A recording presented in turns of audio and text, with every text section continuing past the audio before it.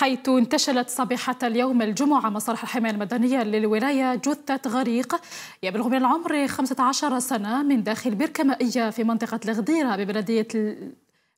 الولجة بولبلوطة